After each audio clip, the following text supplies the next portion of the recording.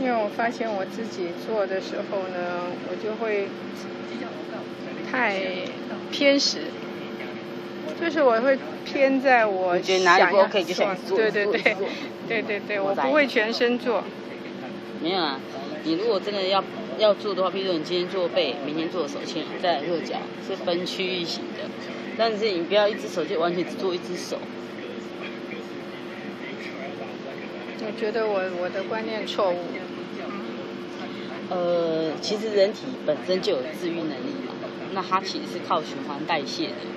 那不是说它今天塞一个地方表示其他没问题，一定是某些点出了问题，啊，只是它显示出来塞在那里。那其实像我们做这个，不要说什么疗愈性，而是我们等于是帮你全身运动，跟有时候运动，兼适度的运动就是可以健康。对啊。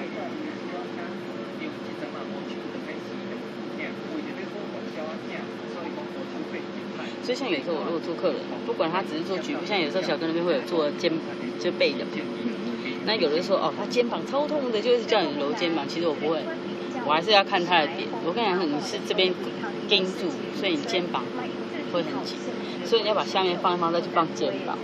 你知道他已经在这个点聚聚集成一块，就硬推也没有？其他不动，推那边。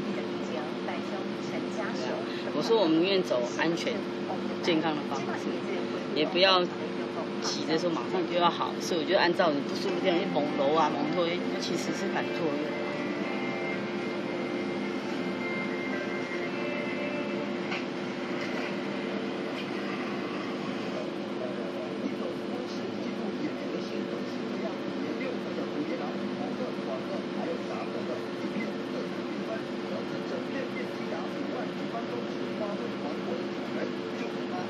所以你今天早上就来了？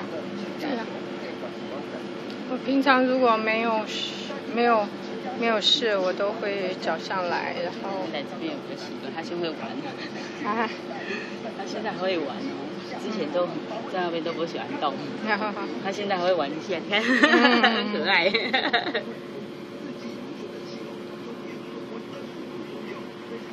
其实他现在动很快，哦。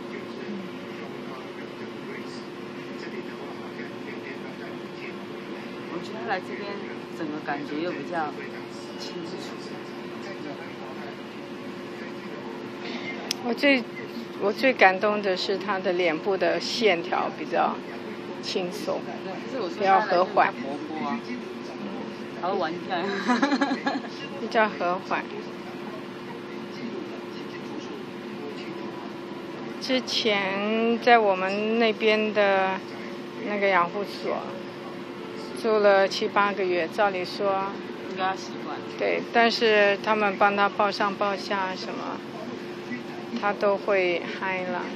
现在家长那时间到有要下来走动，啊他们要下来动动。对。对呀、有，我我来我都给他放在那个椅子上，然后帮他泡泡热水呀、吃个东西呀、这样。嗯，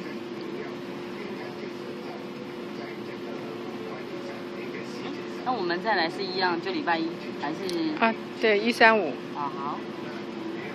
呃，我我现在去跟他们问一下好了，问一下那个时间，还是等一下大我们一起过去讲。呃，这边有温水吗？等一下还是要给江来喝点水。对对对，我都忘了。好，我去因为准备。等一下喝一喝，还是给他喝点水。好啊，如果他要尿尿，就让他多排一些尿。对因为他之前看医生一定会有累积一些药物，对。让他排掉。是，好，我去准备温水来哈。好。